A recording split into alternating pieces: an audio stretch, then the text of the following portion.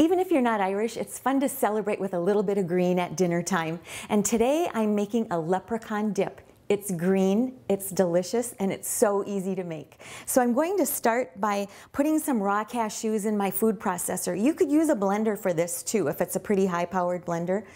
I'm going to put these raw cashews, which just means they haven't been roasted, they're not salted, they're just raw.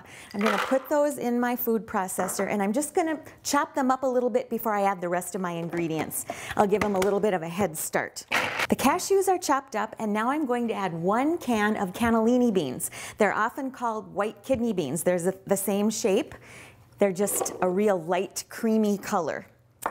And then I'm going to add one cup of chopped kale. Remember, this is going to be green, so we need some nice healthy greens to give it that color.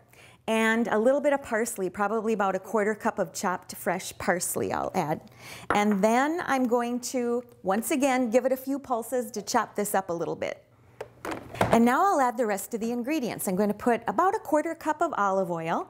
And if you like to use avocado oil, that's a nice choice for this dip too and a couple tablespoons of apple cider vinegar, as well as a little squeeze of lemon juice, some fresh lemon juice.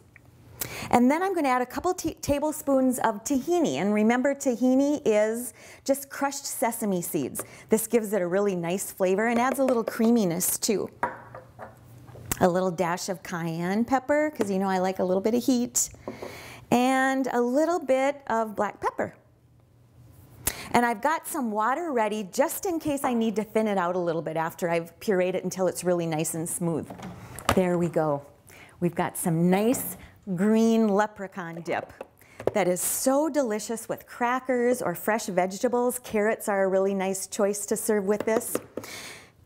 And I'll let you take a peek at it here. I'll put some in my serving dish here and it will be ready to eat. But like I said, I do like to chill it a little bit before I serve it, just for about an hour or so. This is great for taking in your lunch. It's great little snack for children after school. I'm Sue Doeden sharing good food for good life 365.